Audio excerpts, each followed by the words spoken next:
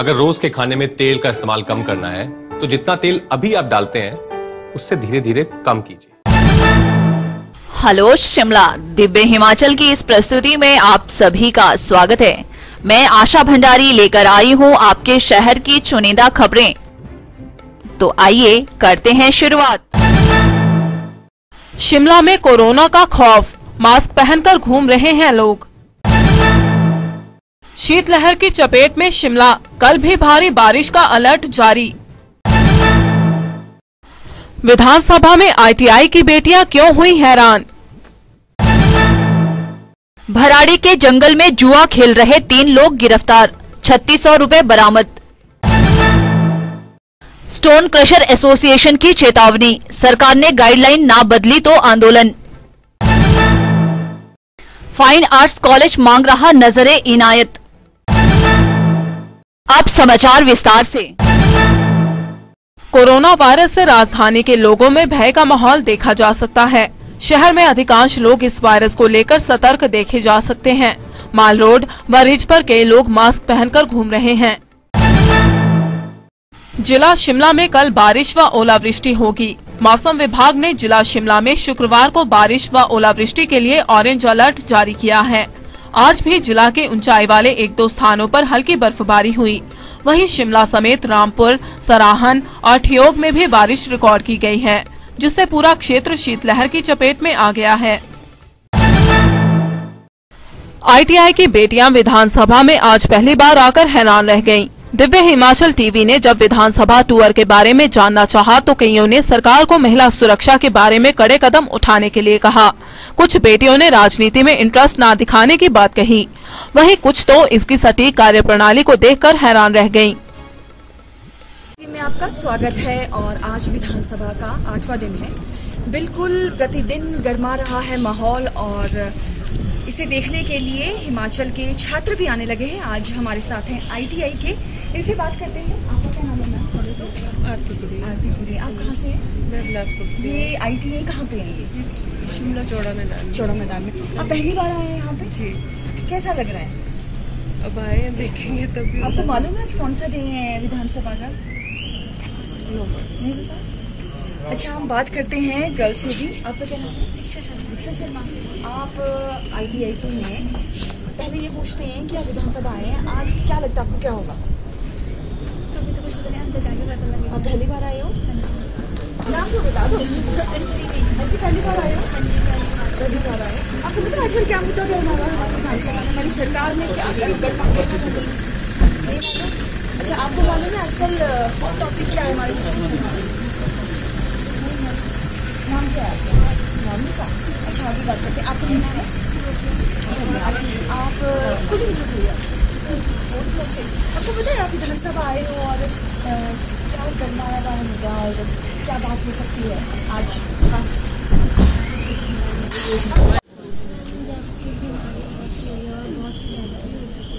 और इसके काफ़ी से इलाज भी आ जाते हैं कोरोना लेकर हम अपनी जो गर्ल्स हैं उनकी जागरूकता को लेकर भी बात करते हैं।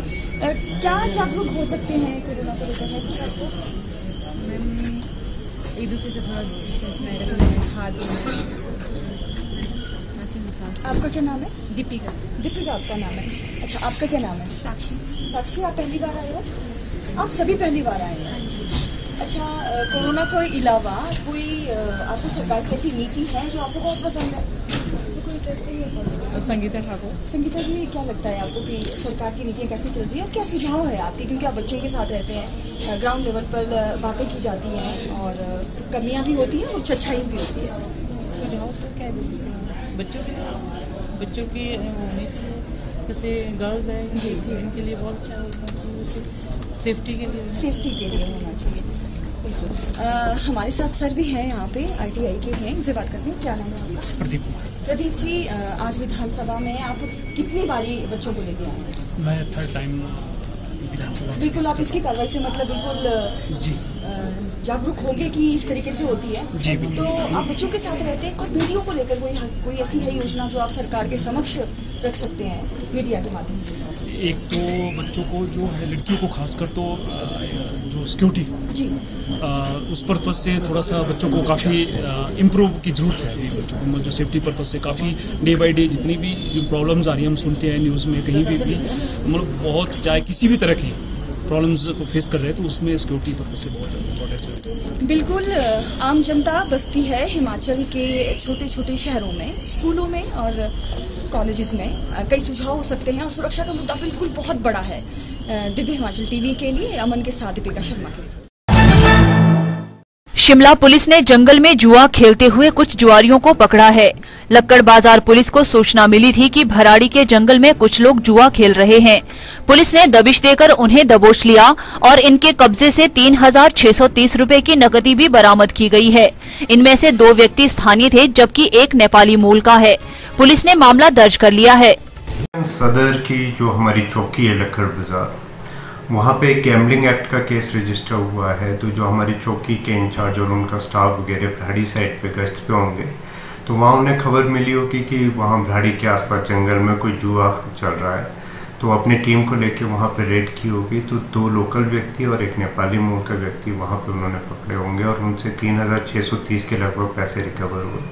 तो अकॉर्डिंगली उसमें गैमलिंग एक्ट में केस रजिस्टर हो गया और आगे की छानबीन हो रही है।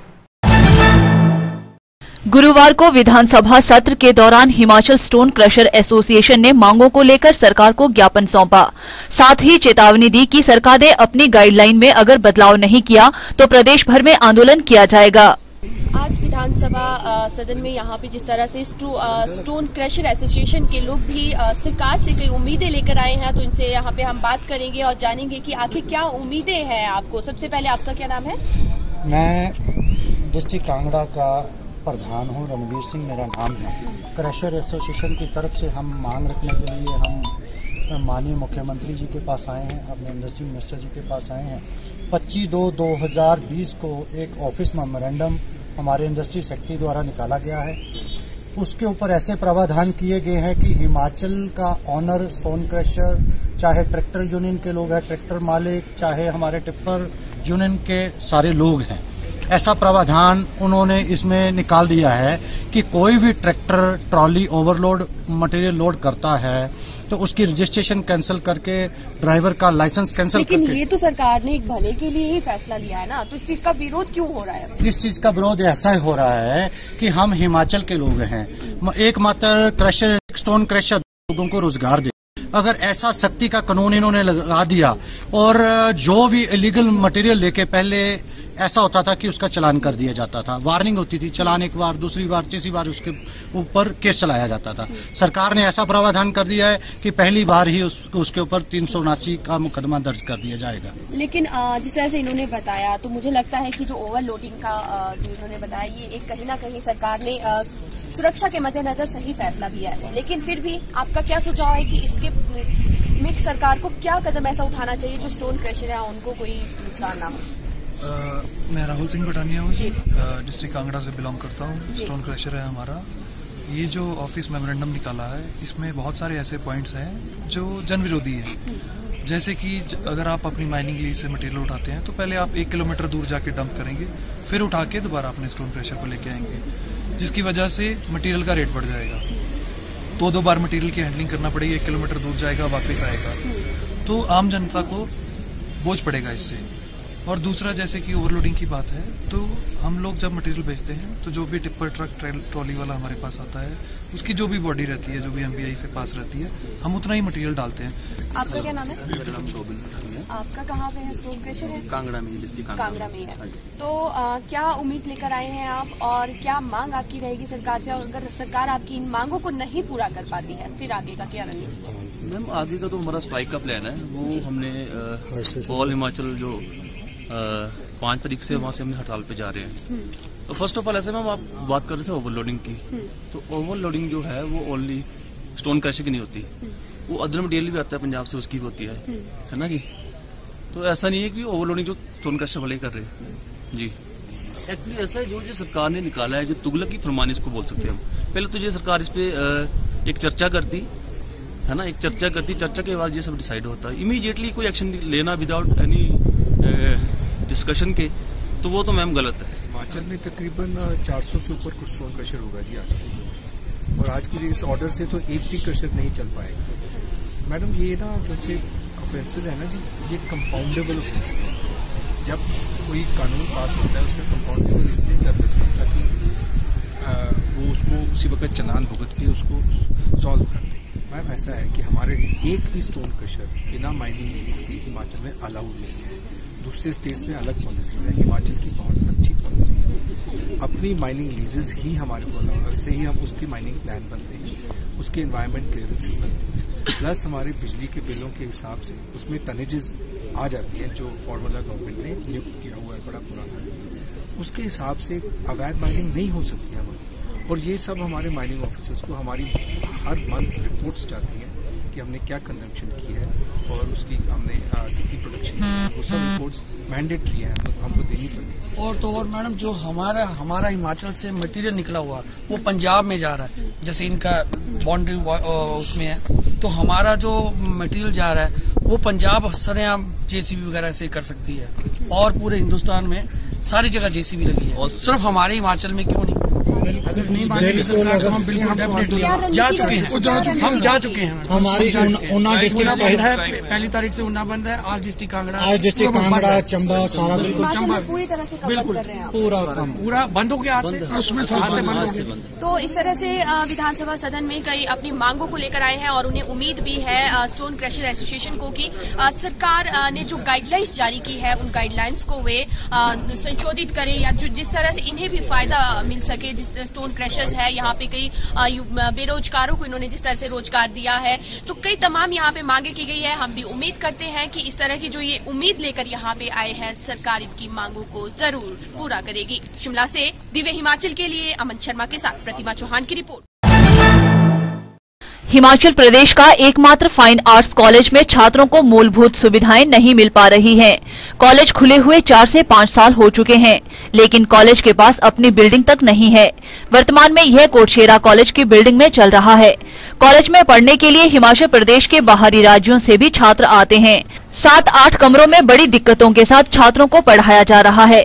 ऐसा लगता है कि प्रशासन इस कॉलेज को मानो भूल गया है आज हम आज हम आपके लिए लेकर आए हैं प्रदेश का एक पहला एक ऐसा कॉलेज जो फाइन आर्ट्स कॉलेज के नाम से जाना जाता है और यहाँ पर प्रदेश भर के बहुत सारे युवा अपने सपनों को लेकर आते हैं। लेकिन आपको बता दें कि ये कॉलेज है। इस कॉलेज की अभी तक अपनी कोई इमारत नहीं है। ऐसे में यहाँ पर आने वाले हज़ारों छात्रों को काफ़ी दिक्कतों का सामना करना पड़ता है। आइए ले चलते हैं आपको यहाँ पर पढ़ने वाले छात्रों से रूबरू करवाते हैं। जानते हैं उन्हें कि इस कॉलेज में उन्हें किस तरह की दिक्कतों का सामना करना पड़ है। अपना कैंपस नहीं है और अभी जो कैंपस हमारे पास है, यहाँ पर रूम्स भी नहीं है जहाँ पर क्लासेस लगाई जाए। और यहाँ पर इंस्ट्रूमेंट्स भी नहीं है और इवन सब्जेक्ट्स बहुत सारे हैं। बहुत सारे इंस्ट्रूमेंट्स भी हमारे सब्जेक्ट है बट यहाँ पर इंस्ट्रूमेंट्स अवेलेबल नहीं है। और तो आप क्या मांग करना चाह रही है प्रशासन से? मैं मांगना चाहूँगी कि अभी आगे चल आगे चलकर भी बहुत सारे बच्चे बाहर से भी यहाँ पर आते हैं हिमाचल से ही नहीं बाहर से भी आते हैं। और मैं चाहती हूँ कि यहाँ पर सभी चीज़ों की फैसिलिटी हो सारे इंस्ट्रूमेंट्स हो सारी क्लासेस अच्छे से हो और कैंपस अपना हो और स्टूडेंट्स को हर तरह की फैसिलिटी यहाँ पर मिले ताकि उनका फ्यूचर अच्छा बन सके। My name is Raj Thakur I came from Manali just to study fine arts as my father was in draftsman so my aim is also to be art be like him a good person be like him and in this college teachers are really good but the faculties and facilities are not so much but we are still adjusting in this so it's privileged that uh, we are getting this chance here, here to study and even teachers are really good. देखिए madam हमारे पास सात कमरे हैं यहाँ पे seven classroom एक principal office एक आपका जो मिनिस्टर स्टाफ के लिए हैं। तो सात दो नौ नौ कमरे कुल हमारे पास हैं। अब दिक्कत यहाँ देखिए कि स्टाफ रूम अलग से कुछ भी नहीं है। हमारे स्टाफ को सारे को प्रिंसिपल ऑफ़िस में बैठना पड़ता है। अब लाइब्रेरी हमने शुरू की है लाइब्रेरी हमारे पास रेगुलर आए हैं यहाँ से प्रमोट होके, लेकिन लाइब्रेरी के लिए कोई जगह ही नहीं है।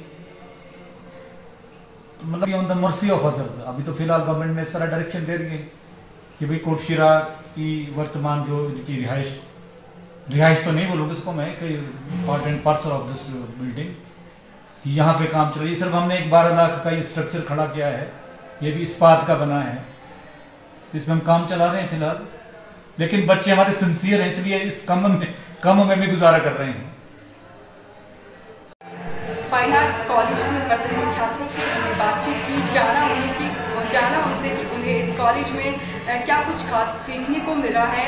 कहीं ना कहीं छात्रों से ये सामने आया है कि ये फाइन आर्ट्स कॉलेज प्रशासन ने खोल तो दिया है, लेकिन जो छात्रों को यहाँ पे सुविधाएँ मिलनी थी वो छात्रों को पूरी तरह से नहीं मिल पा रही है। इसका हालाँकि इस पर आपको बता दें कि ये जो कॉलेज है फाइन आर्ट्स कॉलेज वो हिमाचल प्रदेश का एक मात्र फाइन आर्ट्स कॉलेज है और यहाँ पर वो छात्र आते हैं जो कला में अपनी जिनका कला में रुझान होता है और उसे वो डेवलप करते हैं और आगे अपने सपनों को साकार करते हैं।